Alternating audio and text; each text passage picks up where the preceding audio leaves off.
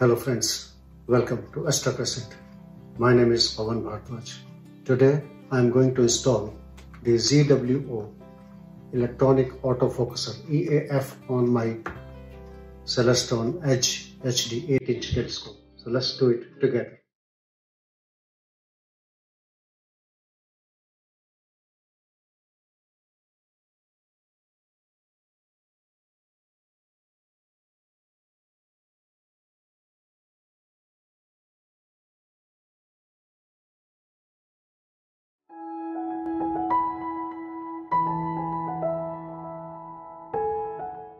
If you are using your telescope only for observations, then you may not need the electronic autofocuser at all. And you can adjust your focus manually. You need not spend money on, on uh, expensive gadgets. When we use our telescopes for astrophotography, for imaging, autofocus is very important because you cannot stay with your telescope all night. Autofocus function makes sure that the, the optics remain in focus throughout the imaging session, throughout the night. As recommended, autofocus is required number one, start of every session. Number two, at least every two hours. Some people do every hour. After change in filter, after moving the scope to a new object, for every new object you can see, and after auto meridian flip. Any of these circumstances can change the focus of the imaging trail. The EAF makes sure that our imaging trail remains in focus throughout the imaging session, throughout the night. Let's see what comes in the box. When you buy the ZWO electronic autofocuser, what you get is the focuser itself,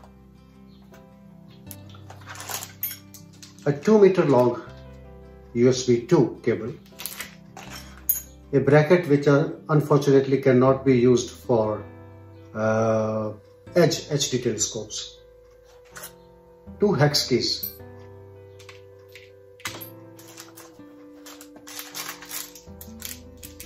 Some hex nuts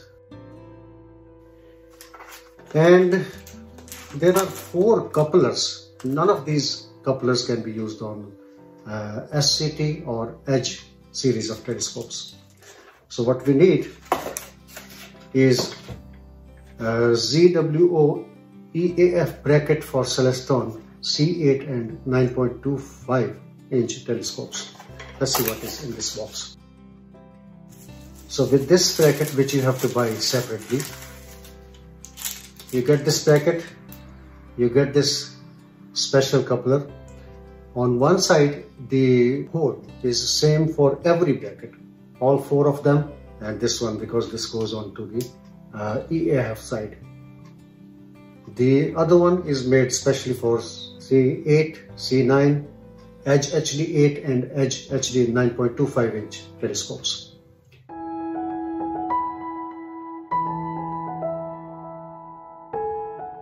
Before we start the installation, uh, there are a couple of things that I want to mention. Number one, it is better that you do a rough focus of the telescope during daytime on a distant object. And number two, make sure the mirror flop knobs let me show you here. The two mirror flop knobs, they are not tight. I will move the camera closer and uh, move the scope this way so you can clearly see what I'm doing. Another important caution that I would uh, like to recommend uh, that you re remove the camera and uh, your filter drawer in case you are using a monochrome camera, remove the filter wheel as well. And, and when you do that, uh, make sure you put back the dust cover on top of the reducer lens to prevent any damage. You can install the EAF uh, while the telescope is on the mount. I would prefer to remove the telescope from the mount and uh, put it on my table so I can easily install the EAF.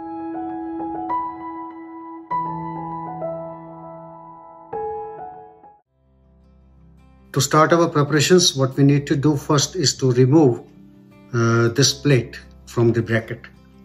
The hex keys are supplied with the EAF. So we remove this plate. We will remove the rubber cap from the focuser knob. This can be a little tricky. You might notice that it may not be possible to pull this sleeve with hands. So there's a little trick here as suggested by Cody from Astro Blender. I'll give the link in the description. Take a screwdriver and just put it down here and gently push the sleeve out while pulling it with the other hand. There you go. Next, we will remove these three screws.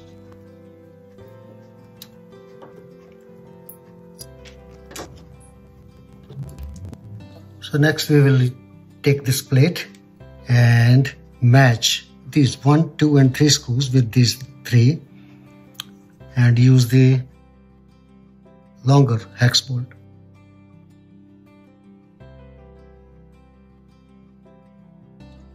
This takes a little patience here.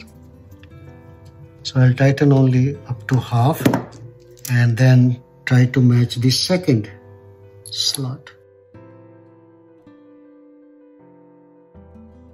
Now the third one will be easy.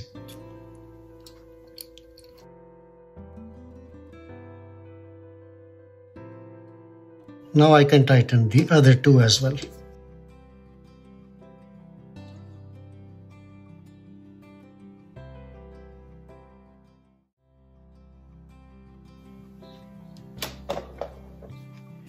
Next, take the plate and now we will use the third slot from this side.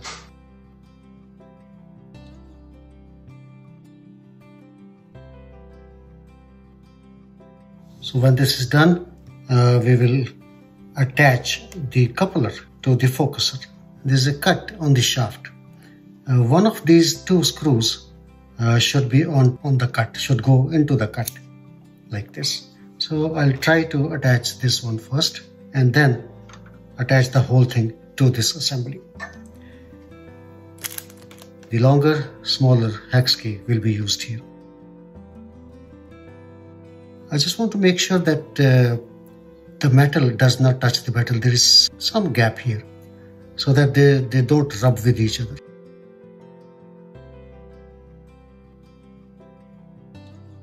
uh, about one millimeter gap over here. And then tighten it from the other screw as well. This way.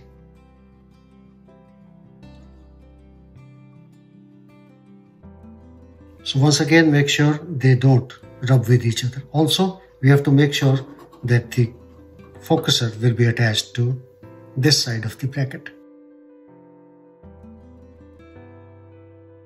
So when this is done, we will attach the two screws with this bracket. I hope you can see that. So I'll tighten them with hand first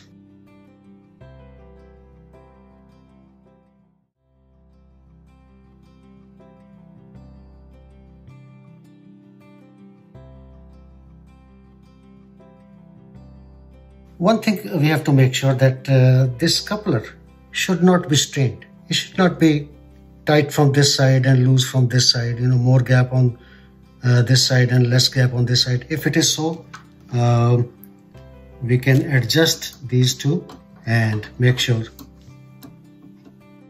these slots are even.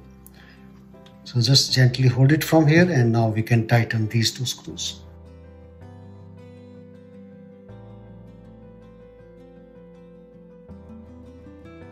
So make sure everything is perfect and now we can tighten all the screws.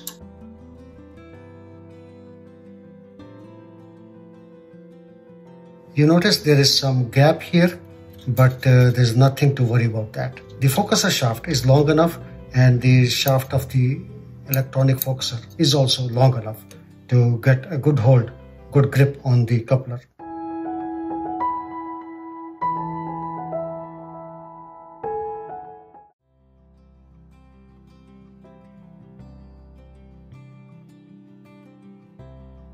The USB cable that comes with the electronic autofocus is 2 meter long.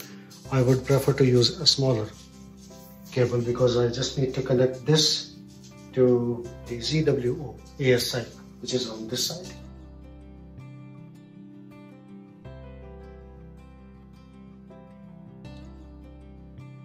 Uh, I will now check whether the EAF works or doesn't work with my ASI Air and using my iPad. You can see other devices, it is now showing me EAF. No electronic filter wheel, but EAF is now being shown here. Let me go to EAF.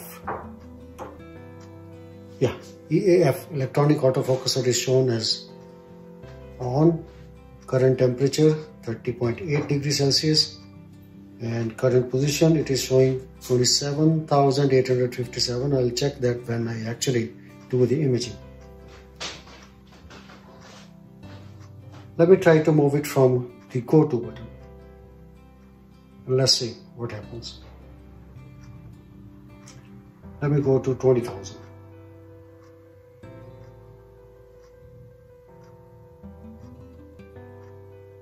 move. It is moving hopefully you can see that the shaft is moving.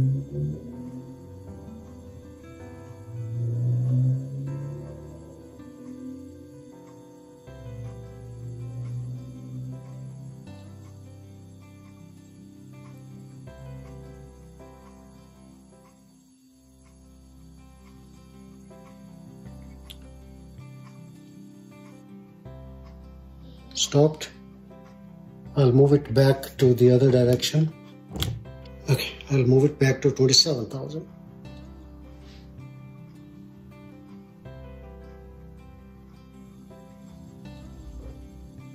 here that means the EAF is working with ASI Air. Other settings I'll check when I take uh, this whole setup outside whenever the weather permits so that's it for today. I hope this video was uh, informative. It was useful. If I missed anything, please let me know in comments below. Thanks for watching. I'll see you next time. Until then, clear skies.